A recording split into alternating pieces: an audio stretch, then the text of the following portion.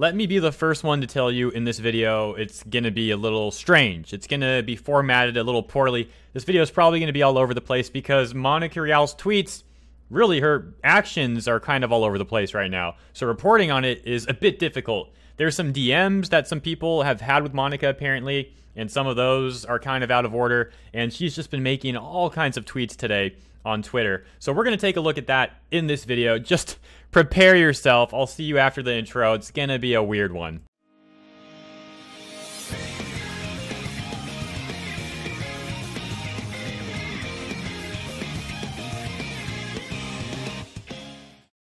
Welcome back.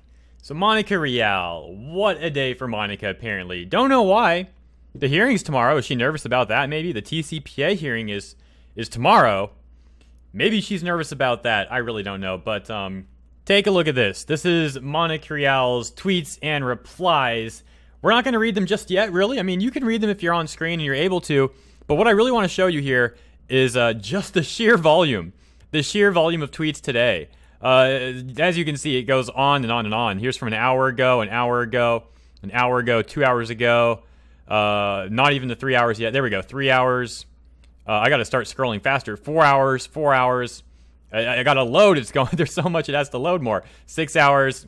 Like the, you can see. Okay, now we're finally at like 20 hours. 20 hours, and uh, well, there you go. Almost almost 24 hours ago now. There we go. Okay, so that is kind of a lot of tweets to be making today. Um, but like I said, we aren't necessarily reading them just yet. But let's go do that. Let's read these tweets Starting with this one, says, I'm going to leave you all with one last thought and then I'm getting offline for the weekend. The anime community has always meant the world to me. Our fans are the best, and I've loved meeting you all at shows. Bet you really loved meeting them 20 miles away from KamehamehaCon when they planned on meeting you there, right? Oh, but let's not talk about that. Our fans are the best, and I've loved meeting you at all. Uh, meeting you all at shows. It breaks my heart that our community has been targeted. targeted by you guys. You're the people that did this. You did this. We would have just been watching anime, had no idea about any of this stuff.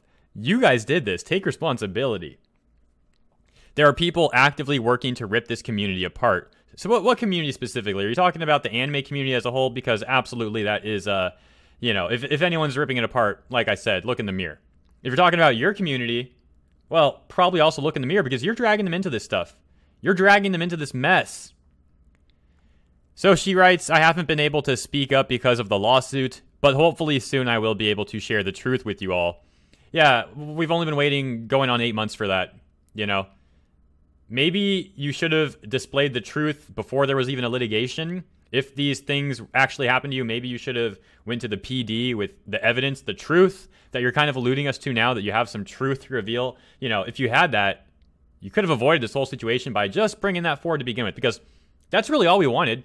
In, to begin with, all we wanted was really truth. It's a bit more than that now. A lot of us are just sick of you guys, to be honest. We're sick of having people like that in positions of power in this industry because they just use us. They don't care about us at all. They really don't, in my opinion.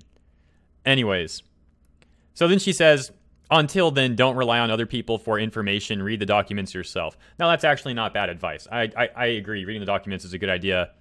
Time consuming, but a good idea. Um, but it's just ironic, you know. She says, don't rely on other people as she's trying to spin a narrative, basically. We're going to look at other stuff too after this. But let's read this one. I don't want to scroll too much because that GIF is kind of weird.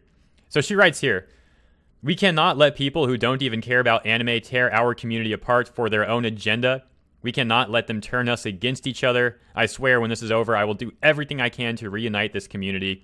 I hope that you'll be by my side. You see, here's what's going on, in my opinion. We're the ones reuniting this community. We're the ones that are finding out what exactly happened at the top with these companies and how absolutely unprofessional and pathetic they are run. We're finding out that people in positions of power in this industry don't care about anime. Are you one of those people, Monica? Are you one of those people who pretends like you care, but you really don't care about anime at all? Are you one of those people? How can you tell? How do you get to be the one to choose who's a real anime fan or not? Just like that tweet the other day from, I believe it was Marchi, where she said, "Oh, the true anime fans support uh, Rial and, and myself or whatever." Isn't that weird? Kind of similar dialogue there. What, did you two talk about that behind the scenes? Oh, you know what? Those other people are not even anime fans. If they don't like us, they're not anime fans. Coming from the same person whose deposition she went off Rial and was talking about how her roles are like all the best girls. My gosh, how petty is that? Yeah, all my roles are best girls, by the way. Are you kidding me? Are you freaking kidding me? Like, you got to prop yourself up and then talk down to us. And then you have the audacity to say that you want to reunite this community as you're talking down to said community. Are you kidding me? Then there's this DM, courtesy of Gentleman Jack. And let me reiterate what I said in the beginning of this video. This is going to be a weird, sloppy video. I like to kind of format my videos so they kind of move along and make sense, if, if that makes sense. You know what I mean? This video is kind of not that case. We're just going to be skipping around. So this is weird too. Let's take a look at this. Reads, I'm so sorry that happened to you, Hart. In the beginning, I said that if Vic would get help and go to counseling, I would forgive him. But that was before he sued me, my fiance, my BF, which I'm going to assume means best friend. But who knows with these people? and the company I work for. Not only that, he is friendly with the same people who have been threatening us since January he could have distanced himself from those people, but instead he chose to stand by them as they did that to us. I know he's pulling the shots, so no, I can never forgive him for what he's done to me and my loved ones.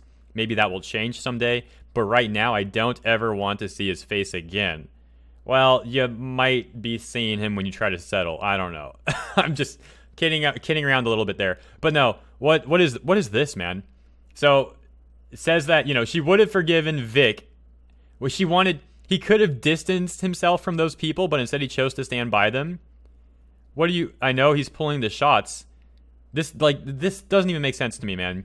If he's pulling the shots, like uh, she on one hand she's blaming it on a group of people that are doing these things, but then she's blaming it on Vic and saying he's the one pulling the shots.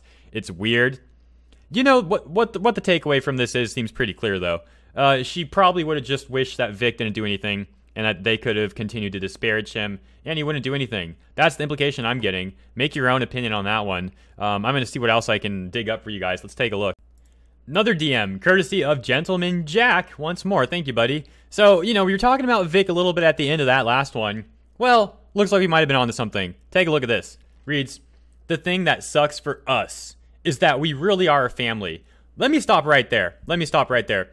Did you guys watch the video I made uh, I don't know when I'm releasing this video, to be honest. I might release it uh, tomorrow, the day after I'm actually recording it. Probably that's what I'm going to do. So let me ask you if you've seen the video that I made regarding uh, Nadolny and the transcription I did of that podcast. Nadolny, in that uh, in that video, in that podcast that I transcribed, she mentioned how the Funimation clique was kind of like a family. We're getting pieces of this puzzle over time and the picture is slowly becoming more and more clear. This matches up with what Nadolny said, the family part specifically. Let's see what the rest of this reads, though. Again, the thing that sucks for us is that we really are a family, especially the Dragon Ball cast. And yet the whole community has turned on us because of a guy who was in three movies. That's all Vic is to you, right? Just a guy who was in three movies just a guy in three movies. How dare Vic? You know, this again reminds me of the deposition when Monica was complaining about credits. Oh, you know, my name wasn't even on the credits. Like, dude, I'm sorry.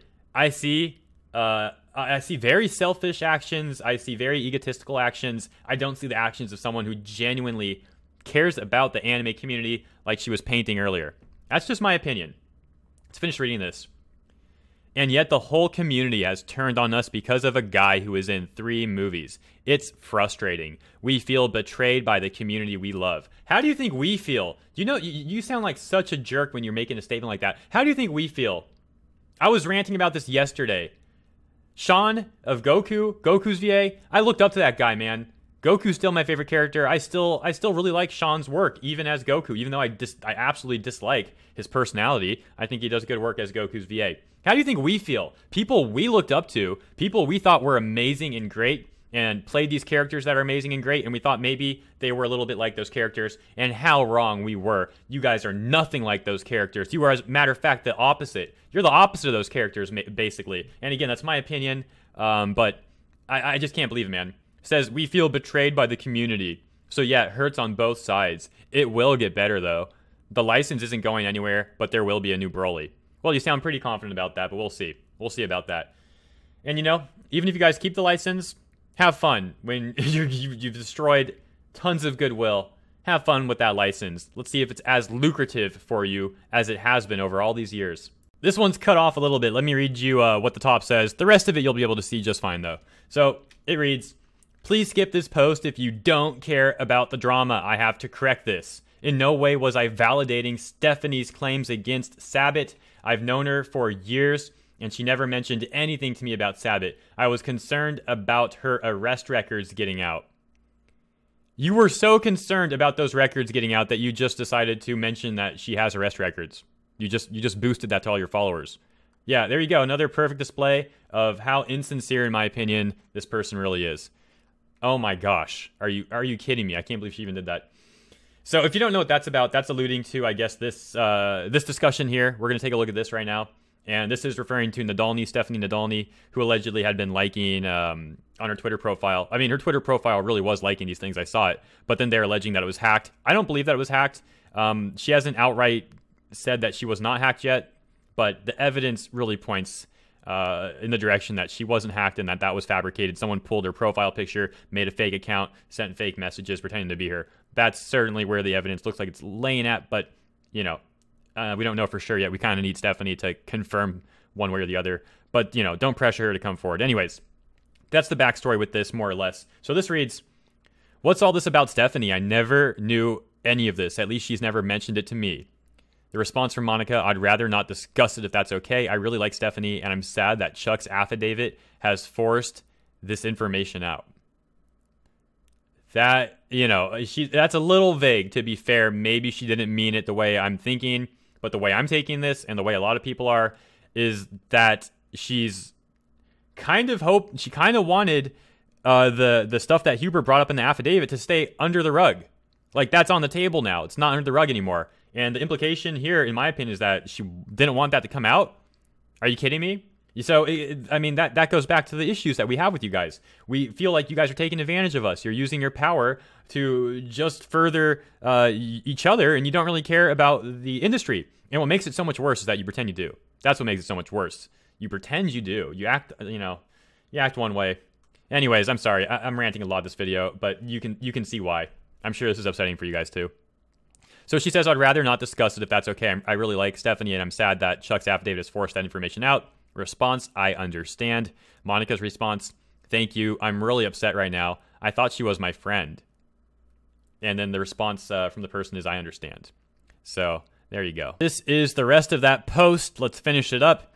It says, this case doesn't involve her, and yet people decided to drag her into it and air her dirty laundry. It sucks, it's cruel, and you should be ashamed. She has not even confirmed that pic of the DM floating around was actually written by her. Uh, let me just reiterate you are literally airing that dirty laundry. You are. You have, like, what, over 10,000 followers? I forget what Monica has. I really do. Uh, but you are putting that out there for all of them right now. like, literally, so hypocritical. And if you don't realize you did that, you need some more self awareness. You really do. Maybe some more sympathy, maybe some more empathy. I don't know. So then she writes, also, I have no idea if there will be more Dragon Ball. Wait, didn't we just see that she wasn't? Didn't she say that they weren't losing the license? I mean, that's two different statements that there will be more Dragon Ball and that they'll have the license still, but that kind of conflicts a little bit. That's also weird. Like I said, man, I don't know what's going on Monica today. This whole thing's weird. I certainly hope there is, who doesn't, but the voice actors would be the last to know. That said, if there is, of course, there will be a new Broly for obvious reasons. And to the quote fans, unquote, who reach out looking for comfort, only to try to twist my words and use them against me, you're disgraceful. I love the fans and want to be able to speak with them privately, but you've ruined that for them. I hope you're happy. You know what? If you love your fans, maybe you shouldn't keep discussing this drama with them. If you want to talk to your fans, make it about anime. You say you care about anime, make it about anime. Why do you got to make it about Vic and drama again? And I'm getting worked up, guys, because this is this is ridiculous. It really is. The lack of self-awareness is absurd. It is. It's to the point where I'm surprised Vic was even friends with this person, really. And no shade at Vic. But my gosh, man. How? How? How? Anyways, let's see. Uh, she then writes To the fans, I love you all dearly. I'm sorry you've had to endure this drama. I promise you that when this is all over, I'm going to work to bring our community together. This has been heck on all of us, and I just want to go back to chatting with you guys and having fun. To clarify, I felt betrayed because, okay, I think we read that part. She was liking tweets that were inflammatory against me, but it turns out her Twitter was hacked. Actually, I don't know if we read that. So here's something absolutely deplorable from her. You, you, you, thought, you thought we were done. No, no, no. We're not done at all. Let me let me show you something here. Monica here writes, it turns out her Twitter was hacked. The only evidence that her Twitter was hacked is, like I've already explained in this video, a DM exchange from an account uh, on Facebook that was allegedly made like a day before that DM came out. It's very, very likely that someone ripped Stephanie's picture, made a fake account, and set up fake DMs to spread this narrative about a hack. The only evidence of a hack, if you can even call it evidence, is this picture going around of a DM. A DM from someone using Stephanie's profile picture, whether it's her or not, saying that she was hacked. It's just a DM. Now, I had to emphasize that because if we go back to her first tweet right here, where she says she has not even confirmed that the pic of the DM floating around was actually written by her. That's literally the same situation as the DM floating around of her claiming that she was hacked. Monica is spinning this narrative in the face of everybody, including the people she says are the fans that she cares about. She's spreading this twisted narrative to them too. So let me ask you if you are a fan of Monica and you really don't like me and you're watching this video for some reason, do you really think she cares about you? I'm explaining to you very clearly why this is a very weird, shady situation. You don't need to like me, but at least, at least listen to what I'm saying here. She is saying for the, um, just just to finalize it, the DM where Stephanie talks about the terrible things that happened to her, she says that's fake. It's just a DM floating around. But the same exact situation, a DM floating around that helps her narrative, oh, you believe that. They're the same. It's just a picture of a DM. But she says confidently that one's, you know, hasn't even been confirmed. The other one hasn't been confirmed either. But she's acting like that's real. I'm sorry, man, but this is just too much. Alrighty, my friends, I'm done with this video. I'm sorry. I, I, didn't think I was going to rant that much throughout that video. Kind of just happened. A natural progression, so to speak. Uh, but I, I, hope you enjoyed this one, guys. I really do. Um, I don't have shoutouts because I actually just released a video 30 minutes ago. And I, in that video, I mentioned how we got shoutouts, even though I was surprised for that one. But this is uh, even more extreme. So I will give some shoutouts in the next video, guys. Thank you so much for your support. I'm not even going to run the outro. I need to get off the internet for a bit myself today after all this stuff, man. This is just, like I said, it's too much. It's too much. I'll catch you guys later. I hope you guys are also taking care of yourselves. Yeah, um, peace.